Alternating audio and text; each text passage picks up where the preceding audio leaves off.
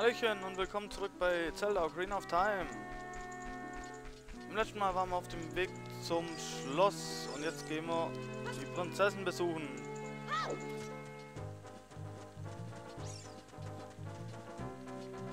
Das passt mit dem Controller nicht so ganz.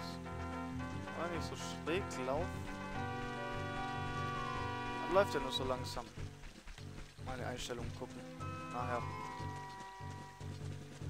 So, wir müssen schauen lassen, damit uns die Wachen nicht sehen. Weil sonst schmeißen sie uns raus. Ah, können wir hochklettern.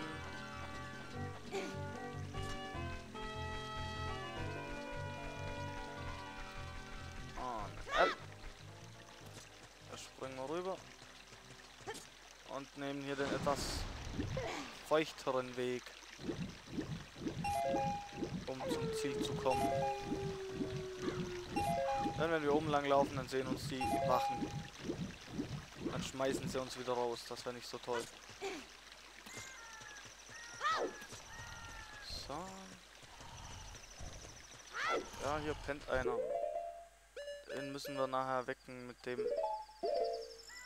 Ja. Dem Ei, was wir bekommen haben. Ah, ich kann ja mal gleich den Tisch ein Stückchen herschieben. Wollen wir das nachher nicht mehr machen. Äpp. Äpp. So. Schieben auch gleich davor die Kiste. So weit es nicht mehr geht. So, ich glaube jetzt ist Ende, ja. Und jetzt müssen wir warten bis es wieder Maul wird. Ja, solange es jung hat, ist es Gegend rum. Damit auch zum Link nicht langweilig wird. Oder? Normal. Mal schauen, ob das funktioniert. Wenn ich lange genug stehen lasse, dann fängt er an zu gähnen. Und ich weiß nicht, ob das in diesem Zelda war oder ob das in einem anderen war, das sich dann hinlegt anfängt zu schlafen.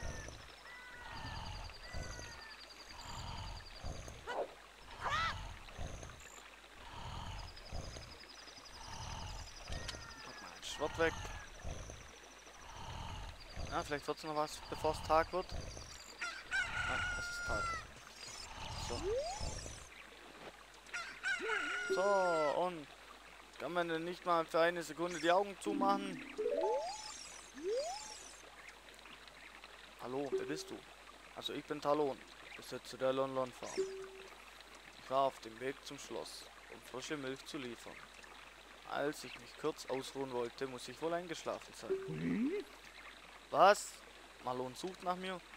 Da bekomme ich wieder gehörigen Auge. Ich hatte ihr doch versprochen. Oh weia, das läuft nicht gut. Haha, jetzt bekommt Angst. Haut ab. Ja, Malon, im letzten Video haben wir mit ihr gesprochen. Das war das kleine Mädchen, von dem wir das Ei hatten.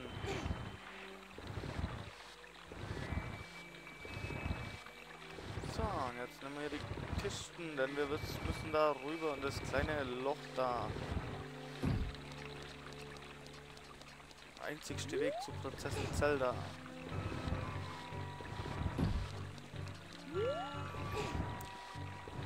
Wie die bösen Jungs einschleichen. So, Head down und rüber. Und hier, hier hineinkriechen.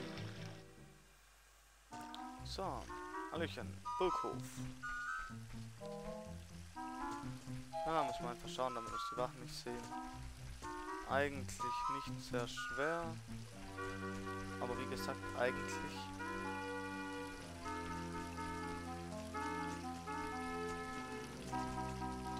so, ja, dann können wir hier entlang.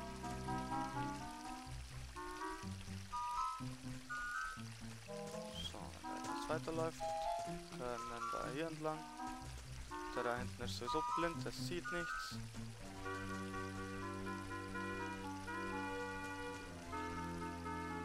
Wenn wir schnell sind, kommen wir auch noch durch. Jawohl.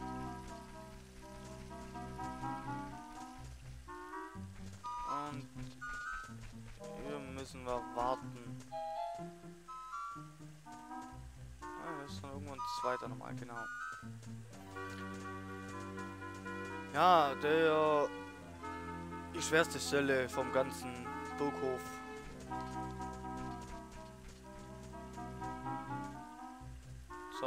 Jetzt lauf du auch weiter, los, tu es.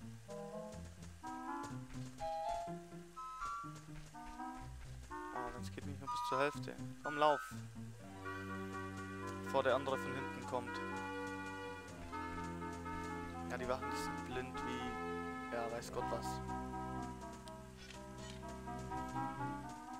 Und taub. Ja, und jetzt können wir hier nächsten Bereich. So. Seht mal, da vorne steht Zelda. Bevor wir zu Zelda gehen, möchte ich euch was zeigen. Und zwar, wenn wir hier in die Fenster hineinschießen Ey, du, mach genau. Schmeißt uns direkt eine Bombe an den Kopf. Und da, schau dann, da haben wir Prinzessin Peach und Mario. Wir da reinschießen, bekommen wir 20 Rubine.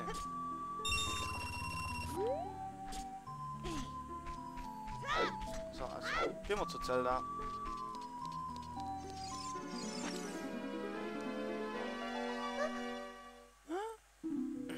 Nanu? Wer bist du?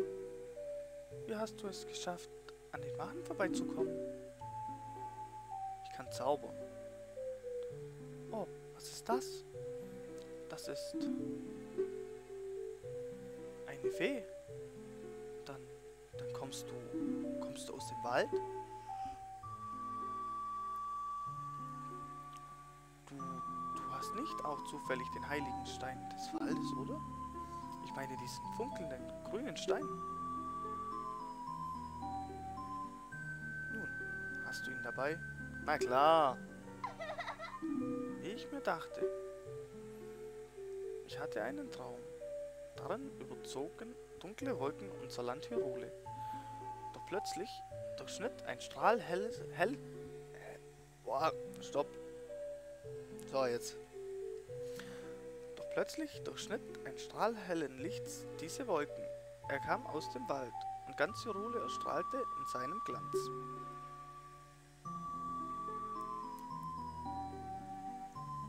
Das Licht verwandelte sich in einen Jungen, der, eine, der einen glitzernden grünen Stein in den Händen hielt. Ihn begleitete eine Fee. Ich weiß, es war eine Prophezeiung, dass jemand aus den Tiefen des Waldes kommen würde. Ich dachte, du wärst es. Oh, tut mir leid. Ich habe mich ein bisschen mitreißen lassen von meiner Geschichte und mich gar nicht standesgemäß vorgestellt. Ich bin Zelda, Prinzessin von Hyrule. Schön für dich. Wie lautet dein Name? Ich fühle etwas. Link.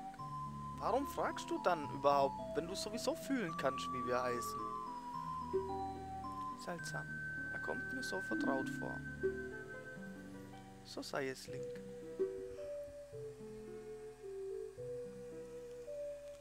Ich werde dich nun in das Geheimnis des Heiligen Reiches einweihen, das seit Generationen von meiner Familie gehütet wird. Du wirst das doch nicht weiter erzählen. Okay, wenn es unbedingt sein muss. Dies ist die Legende.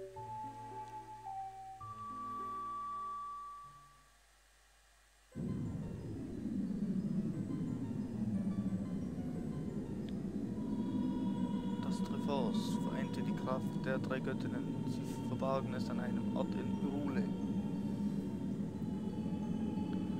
Denn das Triforce hat die Macht, die Wünsche dessen wahr werden zu lassen, der es in den Händen hält.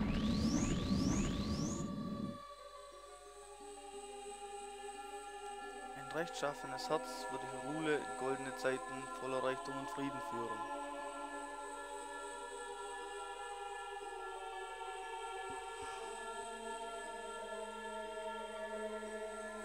Wurden Menschen eines wurden Wünsche eines Menschen mit niederer Gesinnung erfüllt, ja, wurde Hyrule zerstört oder irgendwie sowas. Daher errichteten die Weisen die Zitadelle der Zeit, um das Triforce vor bösen Mächten zu bewahren.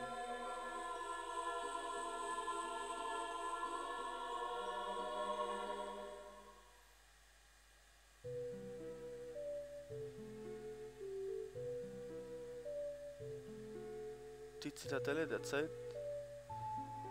Die Zitadelle der Zeit ist uns in unserer Welt der Zugang zum Heiligen Reich. Doch dieser Zugang ist versiegelt durch eine steinerne Mauer, die man Zeitportal nennt. Es heißt, man braucht die drei heiligen Steine, um den Zugang zu öffnen. Und noch etwas. Boah, Leute, das ist echt eine Krankheit. Immer wenn ich aufnehme, muss ich die ganze Zeit gähnen. Und noch etwas, nämlich ein uraltes Relikt, das im Besitz der Königsfamilie von Hyrule ist. Die Ocarina der Zeit.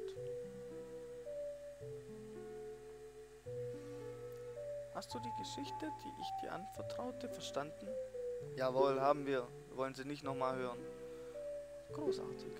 Das habe ich ganz vergessen.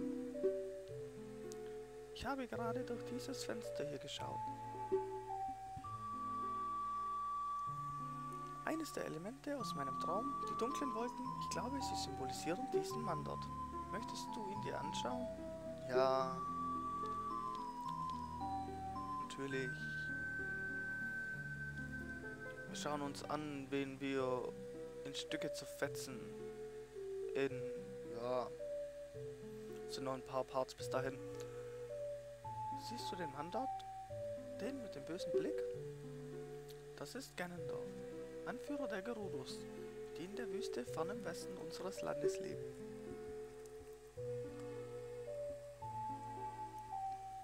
Er hat meinem Vater die Treue geschworen, doch ich glaube nicht, dass er aufrichtig ist. Die dunklen Wolken, die Hyrule in meinen Träumen einhüllte, sie müssen diesen Mann symbolisiert haben.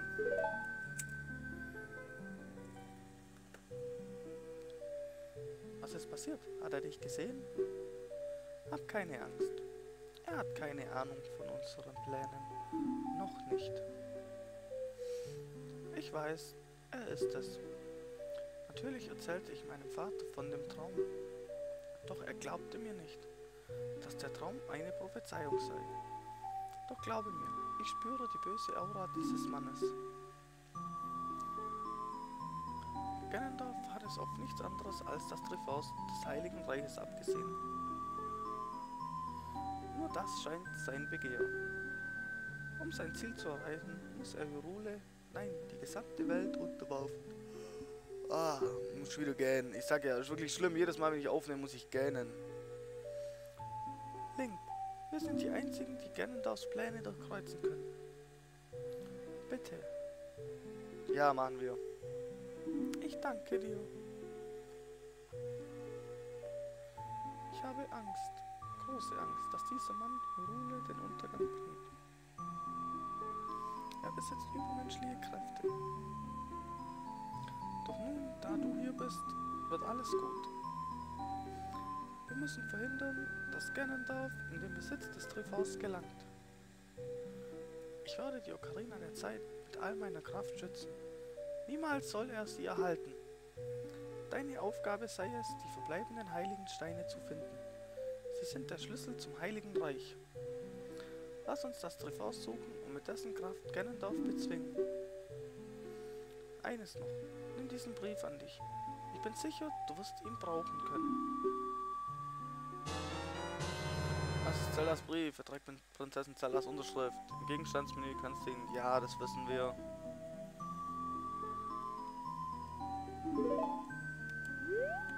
Also gehen wir wieder... Ah, wer wartet denn hier auf uns? Was ist denn das?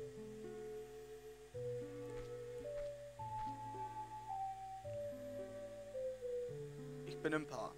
Eine Überlebende der Shika. Meine Aufgabe ist es, ist Zelda zu schützen. Alles ist so geschehen, wie es die Prophezeiung prophezeite. Du bist ein tapferer Junge. Vorstellung, hat dich an diesen Ort geführt. Mit mir wird nun die, mir wird nun die Aufgabe zuteil, dich eine Melodie zu lehren, die du nie vergessen darfst. Es ist ein Lied, das die Königsfamilie von Generation zu Generation weitergibt. Ich habe dieses Lied für Prinzessin Zelda gespielt, als sie noch ein kleines Kind war. In den Noten verborgen sich mysteriöse Kräfte. Lausche nun der Melodie.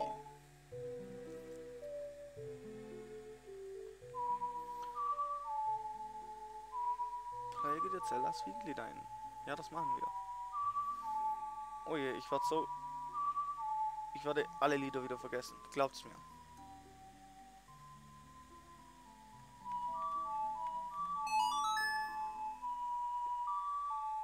Weil, wie gesagt, ich habe das Spiel in letzter Zeit auf dem 3DS des Öfteren gezockt. Und da sind die Taschen anders belegt wie hier und auch die Lieder mit den Taschen. Also da hat man nicht mehr die C-Knöpfe, schön im Kreis angeordnet sind, sondern spielt da mit L, R und drei Stück von den vieren vom DS. Und da weiß ich jetzt die Lieder so langsam, aber sicher auswendig, was ich drücken muss,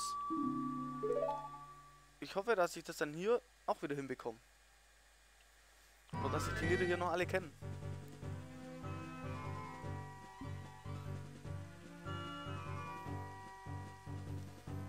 Tapferer Jüngling. Wir müssen Hyrule vor der Drohnenapokalypse bewahren.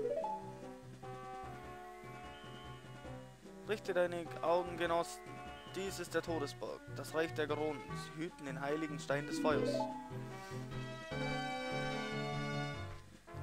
Fuße des Todesberges wirst du Kakariko finden. Es ist die Stadt, die ich gegründet habe, um Verfolgten Obdachlos Obdach zu bieten. Bevor du zum Berg aufbrichst, solltest du dich mit einigen Bewohnern unterhalten. Das Lied, das ich dich gelehrt habe, besitzt geheimnisvolle Kräfte. Nur Angehörige der Königsfamilie dürfen es erlernen und spielen. Vergiss nicht, Du kannst damit beweisen, dass du in königlicher Mission unterwegs bist. Gehe nun, die Prinzessin und ich warten auf dich und die heiligen Steine im Schloss. Enttäusch uns nicht. Nein, machen wir nicht. Ah, Hexe, verbrennt sie. Sie kann sich einfach weg, weg teleportieren, katapultieren, wie auch immer.